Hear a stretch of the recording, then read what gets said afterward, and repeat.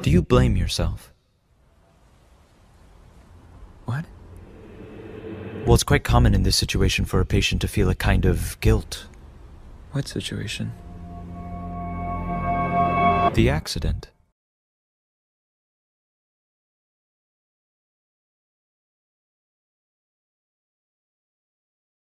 It's, it's like it's on the tip of my tongue, and